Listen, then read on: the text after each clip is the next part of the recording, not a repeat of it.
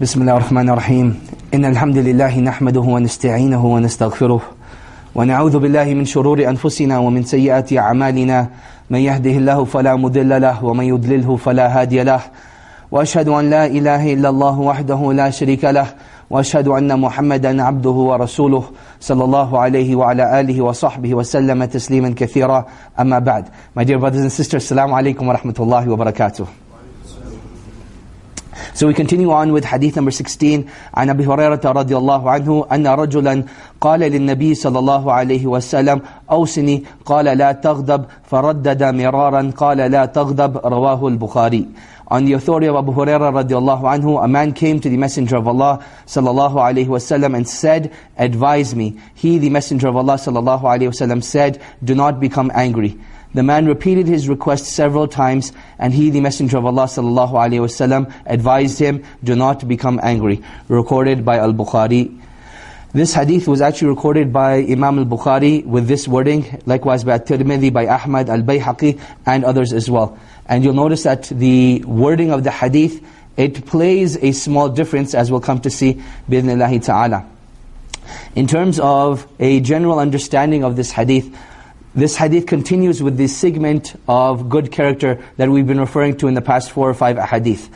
That Imam An-Nawawi rahimahullah's goal in compiling these 42 hadith was to bring together a compilation of every aspect of Islam. So you have an aspect of Aqidah, which is the first few hadith. Then you have the aspect of Akhlaq, which is the middle few hadith. And then there's a third section that we'll get to towards the ending of uh, his hadith as well. So we're still on that section that focuses heavily on good character. Now, one of the great scholars of hadith that we referred to in the past was Al-Haytami. And when he commented on this hadith, he says, you look at the few words of the Messenger of Allah sallallahu alaihi wasallam, and you see its profound effect. He said, if we were to ponder just upon the immense amount of benefit that can come, as well as the great amount of harm that can be prevented through this hadith, people would have taken this hadith much, much more seriously. And that's what you actually notice from the man, that when he comes to the Messenger of Allah sallallahu alaihi wasallam, and he keeps asking the same question, O Messenger of Allah, advise me, it seems, from what we see um, from the hadith at least, is that this man didn't think this advice to be too great, that it wasn't sufficient for him. He needed something greater than this. And that is why he kept asking. But in reality, when you look at how much harm comes from anger and how much you know uh, greatness can come from preventing anger, this hadith it actually has a tremendous effect as can be seen. So that's just a general commentary on the hadith. In terms of the narrator of the hadith, he is Abu Hurairah radiallahu anhu, who I believe a lot of you should be proficient in his biography now. But just to summarize, summarize his biography again, he was born 17 or 18 before the year of the Hijrah, and he died 59 years after the Hijrah. He is someone that the Messenger of Allah wasallam made dua for, for his memory. And likewise, he is the companion that narrated the most amount of hadith. His name before Islam was Abdul Shams, and after Islam, it was Abdurrahman ibn Sakhr al-Dawsi, and he became very commonly known as Abu Huraira due to how frequently he was seen taking care of the cats and the kittens. Now moving on to the text of the hadith. The hadith starts off by saying that a man came to the Messenger of Allah sallallahu alaihi wasallam. Some of the narrations actually mention the name of the man, but those narrations are actually weak. The authentic version of Al-Bukhari, it just says that a man came, meaning that his identity is not actually known. In the version of At-Tirmidhi, uh, when you look at this hadith, the man didn't come to the Messenger of Allah sallallahu and say, advise me. He actually said, teach me something that will not be difficult for me, and I will be able to keep it in mind. Teach me something that will not be difficult for me, and I will be able to keep this in mind. Now, this is a very important characteristic of the Sahaba radiallahu anhum, and this is something that we want to try to bring back into our own lives, is this uh, element of asking for advice. You know, in our day and age, we will only ask for advice if we're troubled by something. So we have a problem, we don't know how to solve it. Okay, let's go and speak to someone and get advice in terms of how we can solve this issue. But you notice the Sahaba radiallahu anhum, they used to come regularly to the Messenger of Allah sallallahu alaihi wasallam and ask general questions that were on the same level of advise me. So some of them would say, advise me, O Messenger of Allah, teach me something that only you can teach you and no one else can teach me. O Messenger of Allah, what is the best of deeds, meaning the best of deeds that I can do? So these are general, you know, characteristics that the Sahaba radiallahu anhum were very enthusiastic about, and this is something we need to bring back to ourselves. So whenever you're in the company of a learned individual, whenever you're in the company of someone that you can benefit from, it is a very good characteristic to develop that you ask them for advice. For perhaps it is something that you did not know about yourself that you will learn, or perhaps it is something that you did know, but you had forgotten about, and thus you will be reminded. So you'll always be in a, a beneficial state when you ask for advice. And this is why the, Allah subhanahu wa ta'ala in Surah Al-Dhariyat, He tells us, وَذَكِّرْ فَذَكِّرْ فَإِنَّ الذِّكْرَى تَنْفَعُ الْمُؤْمِنِينَ And remind, for indeed a reminder benefits the believer. Meaning that it is only the believers that are constantly looking to be reminded. That, or it is only the believers that are constantly looking to be reminded. So now when this man, man comes to the Messenger of Allah sallallahu alaihi wasallam and he says either advise me or teach me something that will not be heavy for me, um, the scholars mention that he was looking for advice from the Messenger of Allah sallallahu alaihi wasallam and this is a characteristic that we should develop for, for ourselves. Secondly, the scholars mention that his constant questioning of this, uh, uh, you know, seeking for advice shows how enthusiastic he was for this. And this is an, an enthusiasm of self-development, of wanting to improve and wanting to get better. Now this sort of enthusiasm will only stem from a person recognizing and realizing that we all have weaknesses that we need to work on. Right? So taking time out of our lives uh, and reflecting upon this, and as something that, you know, what the early predecessors, or at least from the early Sufis, they called muraqabah you know, looking upon yourself, what are the sins that I'm constantly falling into? What can I do to solve those problems? This is what this man was looking for. Because he knew that the Messenger of Allah ﷺ would be the best individual to do this. Now, uh, Al-Haytami, he comments on this and he says that possibly the reason why the man kept asking this question was because he didn't see any significance to the answer of the Messenger of Allah ﷺ. And he mentions that it is also possible that the Messenger of Allah ﷺ knew that this man had an anger problem, and that is why he kept reminding him, do not become angry, do not become angry. But his conclusion in this hadith is that both of these points are inaccurate. That the man, you know, not taking this hadith seriously, that is inaccurate because he was from the Sahabi and he understood, you know, the heavy wordings of the Messenger of Allah ﷺ, but rather he was just enthusiastic for more advice. And likewise, the Messenger of Allah sallallahu only giving this advice because he knew that this man had an anger problem is also not true. Because the Messenger of Allah sallallahu he knew that these words would be recorded and that they were heavy in weight and that they would go on to benefit many many people around him and you know later generations as well. So the statement of la taghdab, do not become angry. The scholars derived from it three different interpretations that we want to reflect on, bi'idhnillahi ta'ala. Interpretation number one is that this hadith is saying that you need to take all of those actions that will help you not to become angry. So that is what the, the, the taqdeer of the hadith is. That you need to take all of those actions that will help you and prevent you from becoming angry. That will help you, you know, fight off that state of anger. So what are some of the things that the scholars mention that a person can do that will help an individual um, control their anger? The scholars mention five things of which we will share with Allah ta'ala. Number one is saying, أعوذ بالله من الشيطان الرجيم. So when a person starts to become angry, it is at that time that they should seek refuge in Allah subhanahu wa ta'ala from a shaitan. The Messenger of Allah sallallahu alaihi wasallam, he once saw two men arguing, and one man lost his cool altogether. And the Messenger of Allah sallallahu alaihi wasallam told this man, "Should I not teach you something which, if you were to say it, it would help you overcome, you know, this anger that you are feeling?" And he said, "Of course, Ya Rasulullah." And the Messenger of Allah sallallahu alaihi wasallam taught him to say, "A'udhu billahi minash shaitanir rajim." Number two, the importance of staying silent. The importance of staying silent. The Messenger of Allah sallallahu alaihi wasallam, he advised people that when they become angry, they should remain silent. إِذَا غَضِبَ أَحَدُكُمْ فَلْيَسْكُتْ That the Messenger of Allah ﷺ says that whenever one of you becomes angry, then he should remain silent.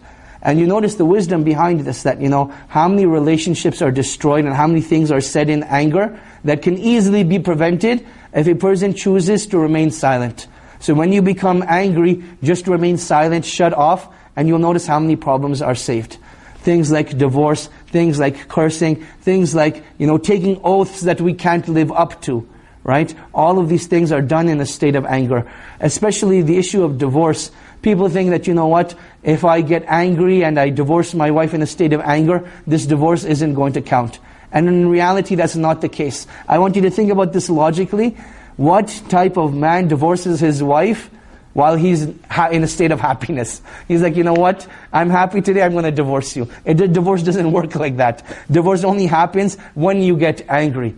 In the few instances when scholars have mentioned that divorce will not count when a person becomes angry, it's when a person gets to, into such a state of rage that he no longer has control over his actions or what he says. And even then, when the, the qadi is making a judgment on this individual, he will ask for secondary evidence. That is there any proof that outside of this incident of divorce, did you ever get into such a state of rage where you lost control of what you were saying and what you were doing? If that can be proven, then this will be accepted in the court. If that can't be proven, then the claim of rage will not be accepted as well. So obviously divorce is a very heavy thing and that a lot of the times it happens when it's in a state of anger.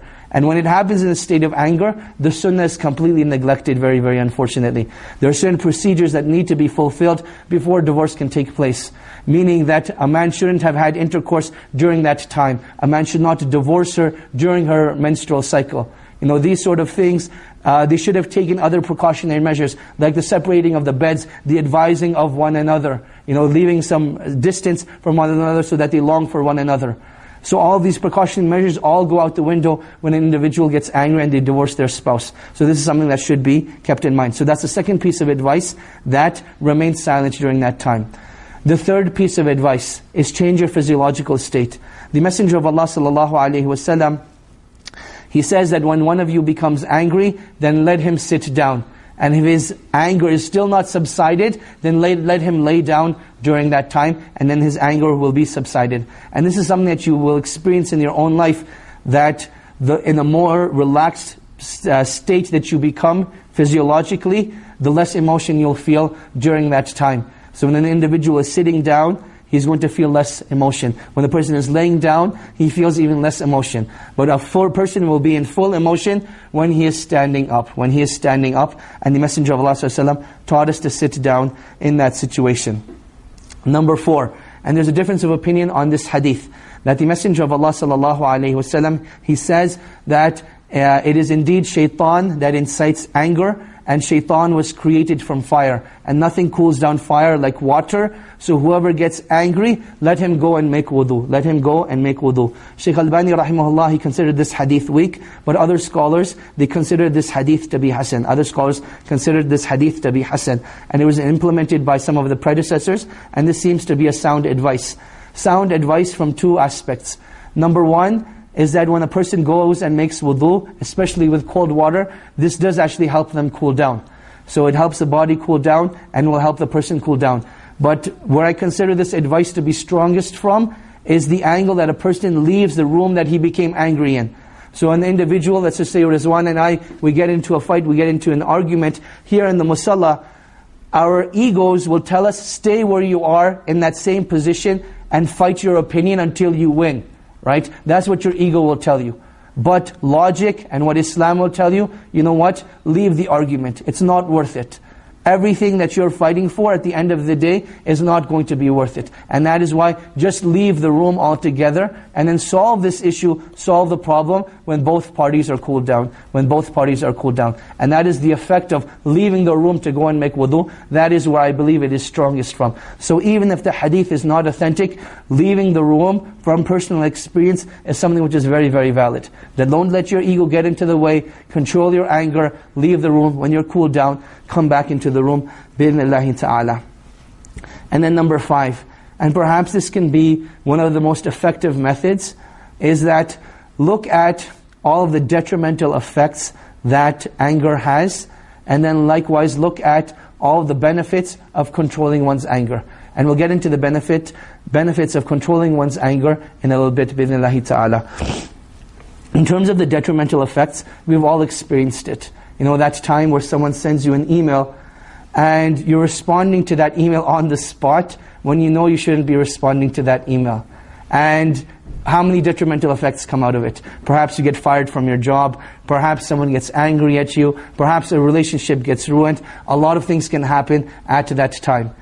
Likewise, an individual, you know, uh, when they get angry, it's not just about, you know, the relationship being lost at that time, but it's about what happens even after that is over.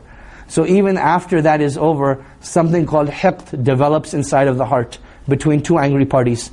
And this concept of hiqd is a very dangerous concept where a person starts hating another individual. So anytime you see that individual, you feel like making dua against them, you feel like harming them, you feel, you wish that, you know, bad things would happen to them. All because you got angry at them at that first time and you didn't resolve the issue in a proper way. So hiqd develops. And that is like the after effect that is, you know, much, much danger, much, much more worse than the initial conflict itself. So that's what it leads to as well.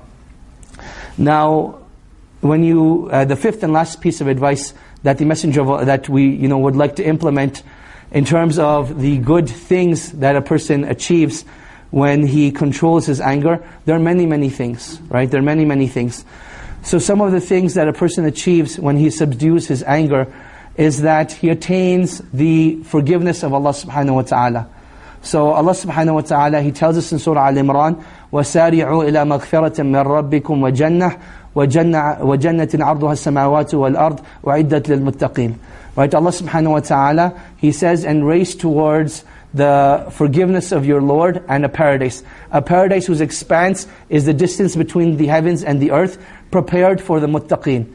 So here Allah subhanahu wa ta'ala, He mentions two things. The forgiveness of Allah subhanahu wa ta'ala and paradise itself. And paradise itself prepared for the muttaqeen. Now Allah subhanahu wa ta'ala, He goes on to define who the muttaqeen are. Right? الَّذِينَ يُنْفِقُونَ فِي السَّرَّاءِ وَالضَّرَّاءِ وَالْكَاظِمِينَ الْغَيْظِ وَالْعَافِينَ عَنِ النَّاسِ وَاللَّهُ يُحِبُّ الْمُحْسِنِينَ So Allah subhanahu wa ta'ala, He gives the, the following characteristics, that they are the ones who give in times of prosperity, they are the ones who give in times of adversity, and they are the one, ones who control their anger, who try to subdue their anger, and they are the ones that pardon people. They are the ones that pardon people. And then the fifth and last one is that these people strive for excellence in everything that they do. They strive for excellence in everything that they do. So who can repeat the five characteristics? Besides Munib, who's memorized the verse? Istigh. No, not those characteristics. The characteristics of the muttaqeen. What are the characteristics of the muttaqeen we just mentioned? Sorry? No, istighfar is not one, one of them. Backbiting. Inshallah khair. Inshallah khair. Fantastic. So there's two of them. That they give in the way of Allah subhanahu wa ta'ala in times of prosperity and in times of adversity. Fantastic. The one that controls his anger. And what's number four? He pardons the people. Fantastic. And number five? Excellent. He strives for proficiency, for proficiency and excellence in everything that he does. So this first verse, it teaches us that Allah subhanahu wa ta'ala has prepared paradise and forgiveness for these people. Has prepared paradise and forgiveness for these people. Number two, um, in terms of, you know, this is like subhanallah this is like the, the, the, the, dream of like every man and you'll notice why the messenger of allah particularly addressed this to the men is because it is particularly the men that have an issue with anger the messenger of allah sallallahu alaihi wasallam he says من كظم غيظا وهو قادر على أن ينفذه دعاه الله عز وجل على رؤوس الخلائق يوم القيامة حتى يخيره الله من الحور العين ما شاء that the Messenger of Allah sallallahu says, whoever restrains his anger while he has the ability to implement it and act on it will be called by Allah in front of all of the creation on the Day of Judgment. And Allah subhanahu wa ta'ala will give him the choice of any of the hur al-ain that he wishes. And subhanAllah, this is like, you know, when we talk about rewards, as uh, for, for most men, their ultimate vision of, you know, Jannah and enjoyment in Jannah is, you know, having a choice of the hur al-ain. And here the Messenger of Allah is saying that when you have the ability to act upon your anger, and you choose not to for the sake of Allah subhanahu wa ta'ala, then Allah subhanahu wa ta'ala will invite you in front of all the creation on the day of judgment and will let you choose the hur of your choice at that time. Ibn Rajab rahimahullah, he comments on this by saying, and this just isn't like a one-time thing. Meaning that if you controlled your anger, you know, a thousand times in this dunya, that this will only happen to you once. No, but rather for each time you controlled your anger, then you will have this invitation from Allah subhanahu wa ta'ala. So this is almost like, you know what, look for opportunities to get angry so you can control yourself, so you get this privilege from Allah subhanahu wa ta'ala on the day of judgment. So that is from the virtues of it. Number three, is that Islam recognizes the strong person to be not the one that is physically strong, but the one that is able to control their anger. So as, man, as men, we're very egotistical. We always want to be, you know, the strongest person in the room. We always want to have, you know, the most amount of testosterone. But the Messenger of Allah sallallahu alaihi wasallam, he tells us, لَيْسَ الشَّدِيدُ بِالسُّرْعَةِ إِنَّمَا الشَّدِيدُ الَّذِي يَمْلِكُ نَفْسَهُ عِنْدَ الْغَضَبِ That the strong person is not the one who can put other people down physically, but rather the strong person is the individual that can restrain himself in times of anger. So you want to be the strong person, then learn to control your anger during that time. So those are some of the uh, things that are recommended to do when a person gets into a state of anger. To repeat them, bi'idhnillahi ta'ala, number one, he should seek refuge in Allah subhanahu wa ta'ala from a shaitan. Say, a'udhu billahi min shaitan rajim. Number two, he should remain silent. Number three, is that he should change his physiological state. So if he's standing, he should sit down. If he's sitting down, he should lay down.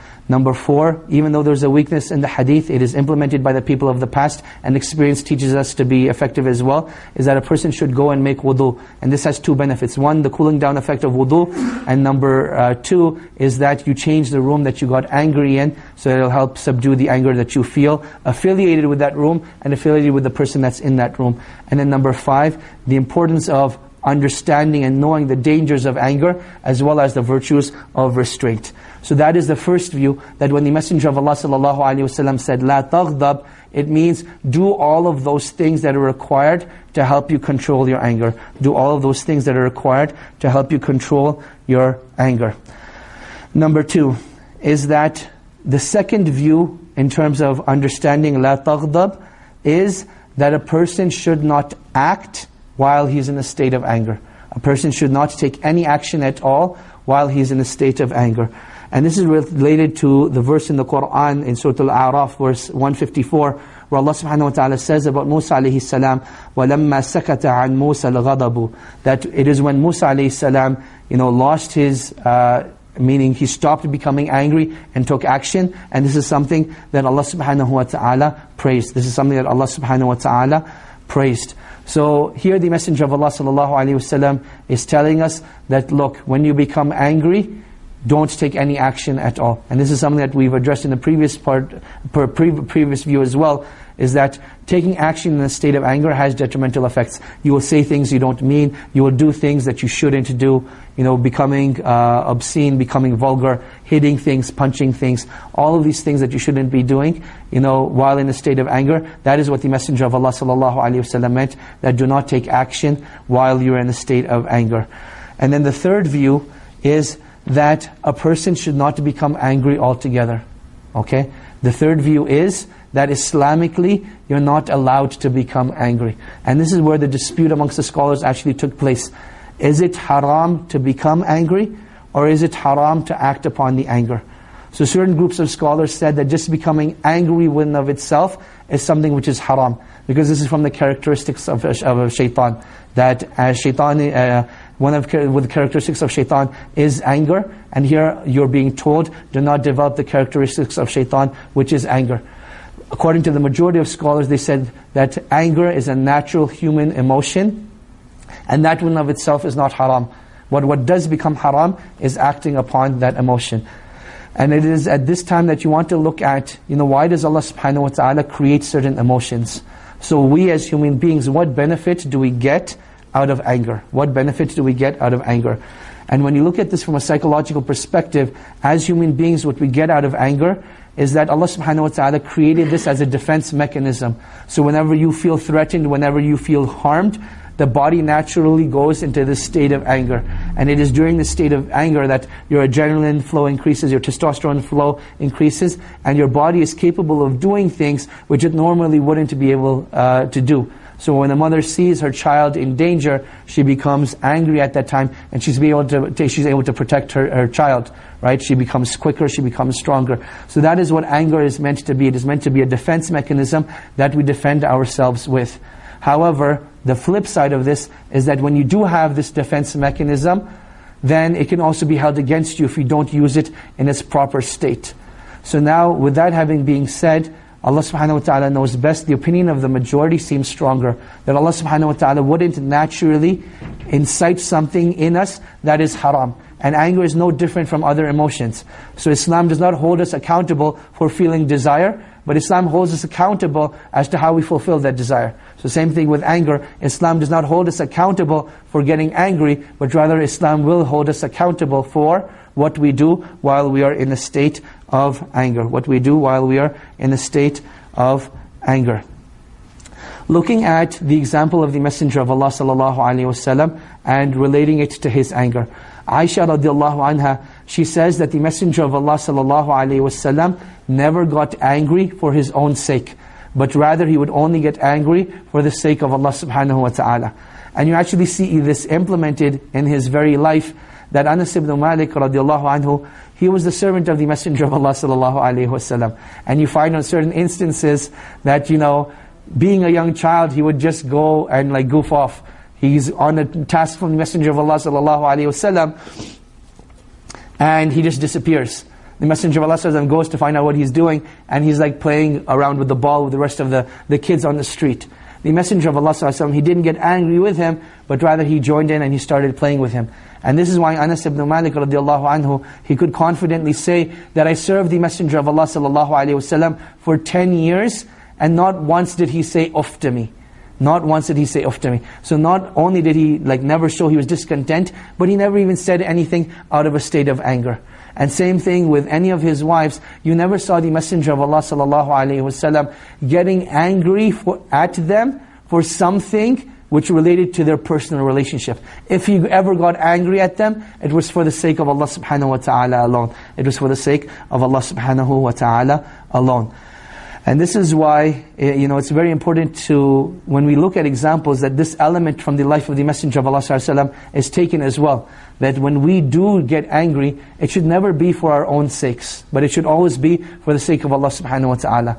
And you'll notice that this is where people will go to extremes, that you'll have a group of people that, you know what, they get angry at each and every single thing. Someone looks at them the wrong way, and they're getting angry. You know, why is this person looking at me? Getting rid, you know, angry for useless and petty things. And then you have the exact opposite extreme, that, you know, something, someone from their own family member is committing, you know, the fawahish, they're not praying, they're doing all sorts of crazy other things that are against Islam, but they feel no anger and no ghira for the deen of Allah subhanahu wa ta'ala whatsoever. And there needs to be that fine balance. That when it comes to anger, anything pertaining to this dunya, know that it's not worth getting angry over.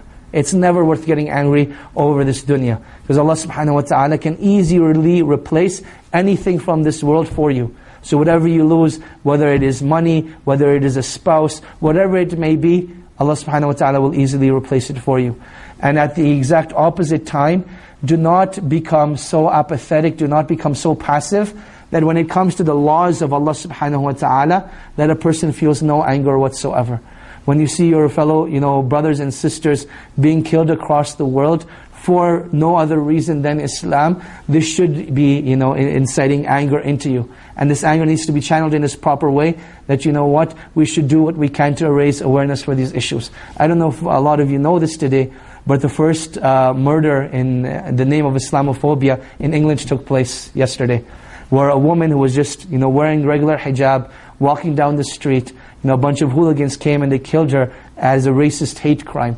That, and this was the first crime, uh, the first killing crime in the name of Islamophobia that, that, that was done. And this is something that should anger us, that, you know, this woman's crime was nothing other than she was a practicing Muslimah. Now it is up to us that once we feel that anger, we channel it in its proper ways. One, creating awareness about it. Number two, exposing the, you know, the, the, the fruitless plots of, of these races, of these racist xenophobes. Number three is, you know, making sure we're creating awareness for the good character that Islam promotes and the khair that Islam brings about in communities and these sort of things, right? But to fight, go out and, you know, fight these people and go above the law, then this is not from Islam. Islam is actually opposed to those sort of things. And then again, the exact opposite being, you know what, is just another murder, you know, who cares, it's no big deal. This is against Islam as well. As Muslims, we need to have that, that hatred for the sake of Allah subhanahu wa ta'ala. And murder in the sight of Allah subhanahu is something great. You know, whoever kills one person, it's as if he's killed all of mankind. And the blood of a human being is more sacred than the Kaaba itself, right? So these are all things that need to be kept in mind. And you want to see how would the Messenger of Allah sallallahu alaihi wasallam react in this situation. So that balance always needs to be found. And that balance is never get angry for ourselves, but let us always get angry for the sake of Allah subhanahu wa ta'ala when it is required. And then let us channel that anger in a way that it is most effective. Let us channel that anger in a way that is most effective. In concluding remarks uh, of this hadith, there's a couple of things I want to mention. Number one is the dua that the Messenger of Allah sallallahu alaihi wasallam used to make. Uh, Ibn Rajab rahimahullah, he reports that the Messenger of Allah sallallahu used to frequently say, أَسْأَلُكَ كَلِمَةَ الْحَقِّ فِي الرَّضَى وَالْغَضَبِ That, oh Allah, I ask you of a truthful word and a good word in times of prosperity as well as times of anger. And this is something that's very important, that you'll notice in times of extreme prosperity and in times of anger, a person loses focus on the things that they say. But here the Messenger of Allah ﷺ, he used to supplicate to Allah subhanahu wa ta'ala that Allah subhanahu wa ta'ala keeps his tongue straight and firm in times of prosperity as well as times of adversity. Number two is that Al-Hasan al-Basri, he has a beautiful statement. He says, there are four characteristics that if one possesses them, Allah protects him from shaitan and forbids the hellfire for him. And uh, forbids the hellfire for him. These four are found in the one who controls himself while in a state of craving, while in a state of fear, while in a state of lusting, and while in a state of becoming angry. And Ibn Rajab rahimahullah, he comments on this by saying that these four are the path to every evil. These four are the path to every evil. So those four characteristics, again, is a person who is craving, a person who is fearing, a person who is lusting, and a person who is becoming angry. So when a person craves, it means you see someone else that has something and you start to desire it. So this incites something in you to take action that you shouldn't be doing. Number two, when a person is afraid, when a person is afraid, their body starts to shut down. And those actions that they should be doing, they don't do. So when they have an opportunity to make change because of fear, you know, they completely shut down and they don't do it when a person is lusting. And perhaps in our times, this is one of the most important of them.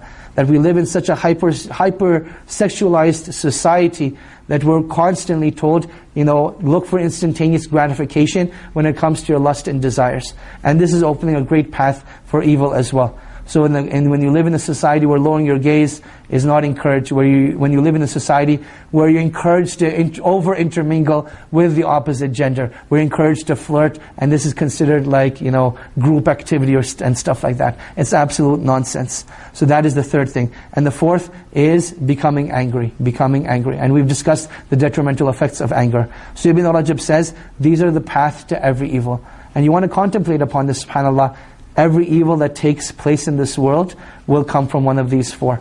That either a person desires something of this dunya, and that's what coveting is, or a person is afraid of something, or a person becomes angry, or a person has a lustful desire. Every single evil will come back to these four, subhanAllah. So that was the second thing. And then the last thing uh, I wanted to mention from this hadith is that when you look at um, the issue of anger. The issue of anger is such a driving force that, you know, we're told in this society that, you know, all, you know, just do what you feel, right? Doing what you feel, it, it has its adverse effects. And this is something that, that needs to be brought attention to. That, you know, this emotion of anger, when you look at how many things have gone wrong in the world, you know, a lot of it just had to do with anger, right? Wars are started due to anger, a lot of the times, right? People kill people due to anger. People steal from people due to anger. People oppress people due to anger. People will hit young children due to anger. You know, all sort of, all, all of these things, they're a result of anger. And Islam, it pays such a heavy emphasis on controlling this one emotion. In fact, I do not know of any other emotion that in, in terms of internal emotion that is given as much uh, attention in the Quran or in the Sunnah as anger is. Right? So this is something that we need to pay a lot of attention to, and particularly in the gathering of men, since we are naturally prone to lose our tempers and become angry, it is even more so upon us to control our anger, bi'idhnillahi ta'ala, and learn from this hadith. والله تعالى أعلم وصلى الله وسلم وبارك على نبينا محمد وعلى آله وصحبه وسلم This will be our last halaqah before the month of Ramadan. And next week we will be covering a text uh, pertaining to the fiqh of fasting. Last year we did the, the chapter of fasting from Umdat al-Fiqh. And I'm leaning towards doing the chapter of fasting from Bulugh al-Maram. So that will be next Wednesday, bismillahi ta'ala, at 8.30. That will be next Wednesday. Uh, at 8.30 with bi'idhnillahi ta'ala. And then we will continue the Imam Nawawi's 40 hadith after the month of Ramadan bi'idhnillahi ta'ala. With that, we'll open up the floor for questions and answers. Inshallah, if anyone has any questions. I apologize, my voice is low because I actually lost my voice completely over the weekend. Alhamdulillah, it started to come back. And I was actually afraid I wouldn't be able to do the halaqah. But alhamdulillah, you know, Allah subhanahu wa ta'ala is the best of planners. And alhamdulillah, it came through. So if any of you have any questions, feel free to ask your questions, inshallah.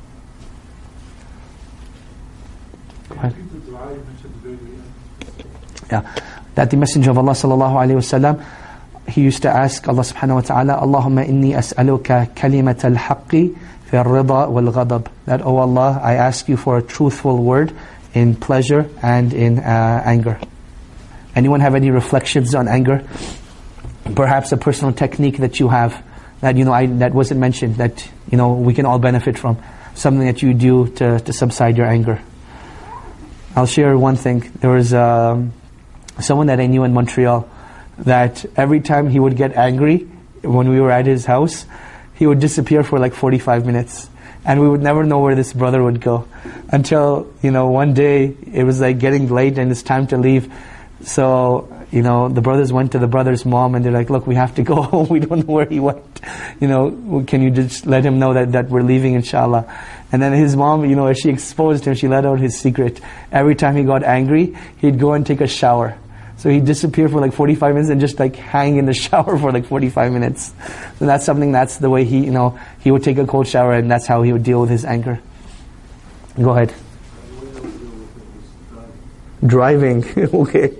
Inshallah, I hope you don't get too, too angry one day. You end up in like Edmonton while you're driving. But no, I agree that works. You know, you put the windows down, you put some Quran on, and you're alone in the car, you drive, and that's very soothing, mashallah. It's very good. Many of you are going to say something? This is a question I had related to suppressing anger. Yeah. Sometimes supp- suppressing anger too much, for example, in my case, because I get extremely angry, sometimes the suppressing anger leads to me having extreme headache. Okay. So I don't, a medical thing, but how can it, how can someone find a balance between? You'll notice that between, with every emotion, it goes through phases. There's an initial phase of anger, where your body's telling you, look, you're about to get angry, you're about to get angry. And then you actually do get angry, and then the anger starts to, to decline.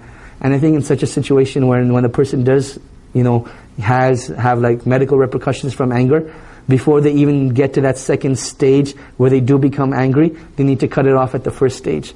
So what are the signs that your body is telling you that you're about to get angry?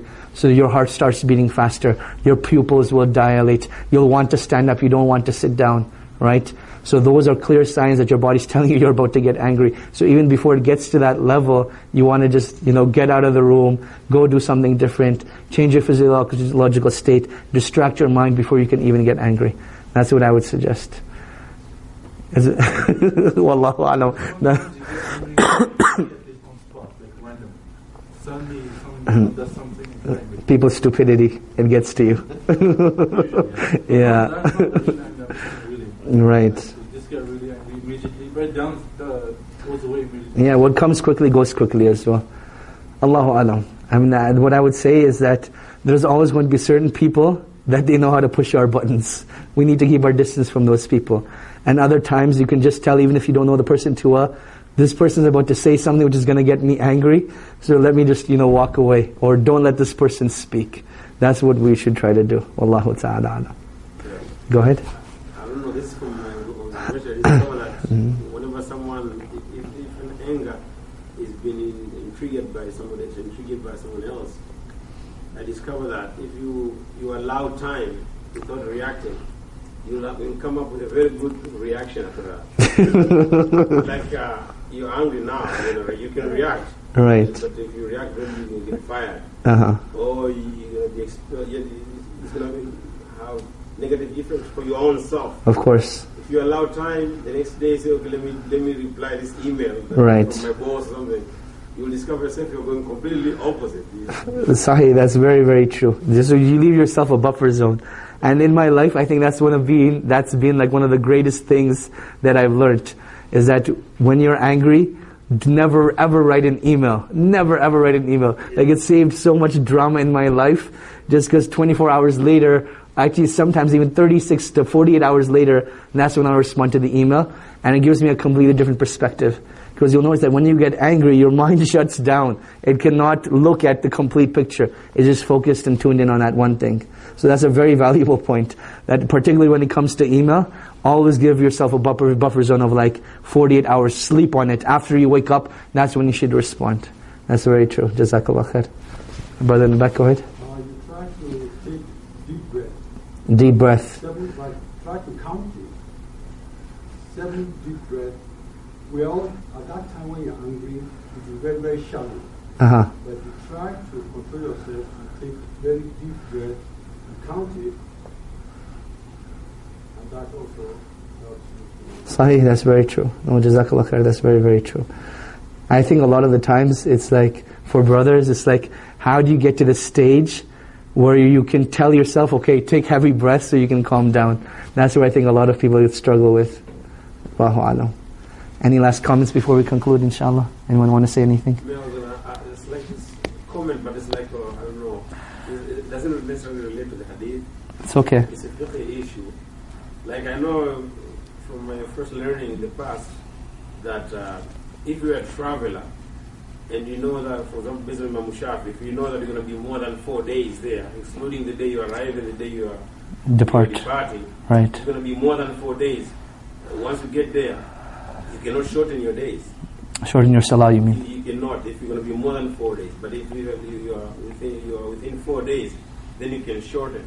Right. So I was wondering, like, uh, for those of us who work elsewhere, where we have to go away to Calgary, and somewhere far away, where there is Masafal, uh, Uh, Masafal Hasar, or whatever they call it. Ma- Masafat safar. Masafal Safar, yeah. Right. So I was wondering if you if you are there for only let's say eleven days, but nine days you are there nine days.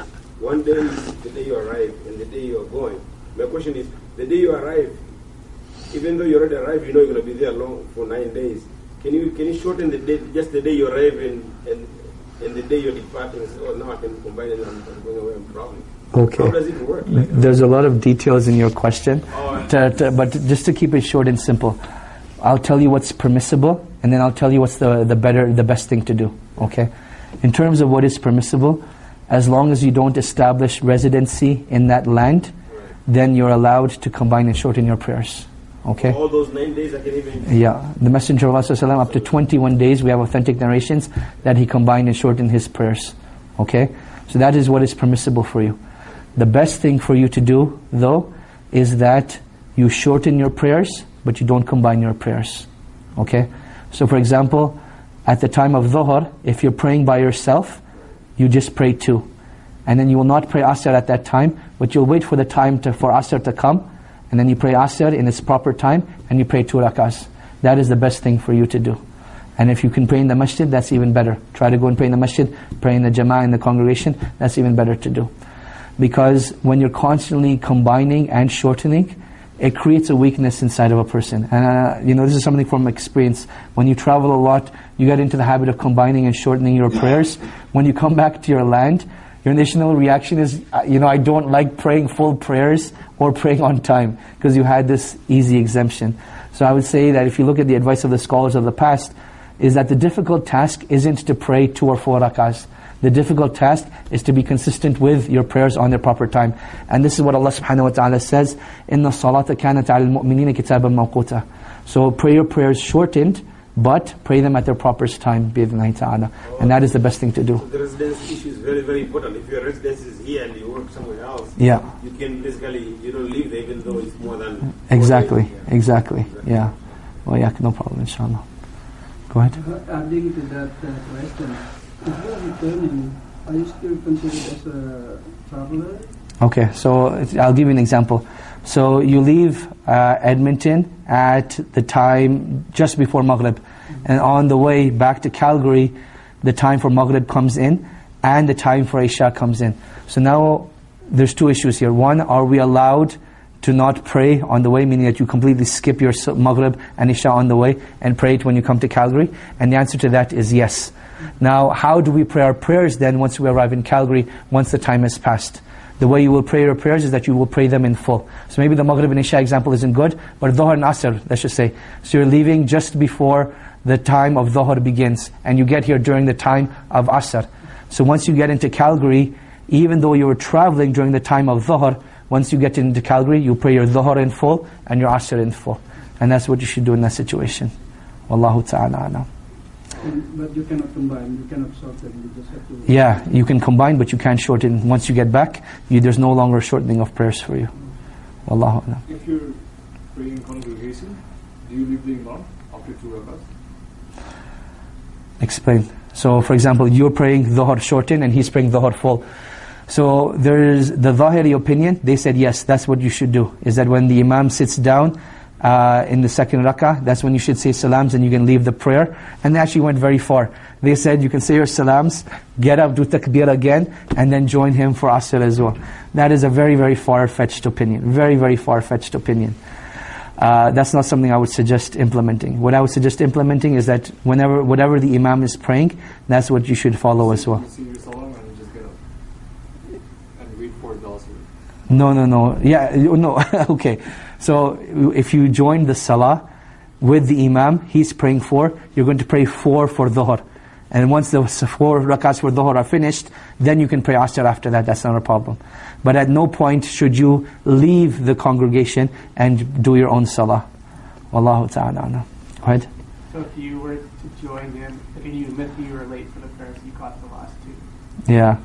What do you do and do in that situation? Again, there's a difference of opinion. And this is something that, you know, recently Sheikh Walid was in town and we had this issue where, actually, no, sorry, we were in Toronto when the issue first came up, where we got to the, the masjid and the Imam was in the last rak'ah and we needed to pray Dhuhr with him. And Sheikh Walid, you know, he prayed one more rak'ah after that, made salams, and then he started praying Asr. And I'm, you know, wondering what is going on over here. But, you know, uh, he said that this was the opinion of Sheikh bin Baz, rahimahullah, that the, the person who's traveling, he's not restricted to the number of the imam. But he said this should only be done in the case where you know you've missed some of the salah already. So if you joined with the imam from the beginning, you pray completely with the imam. However, if you know that you missed two rakahs already, then when he makes salams, there's no harm in you making salams as well.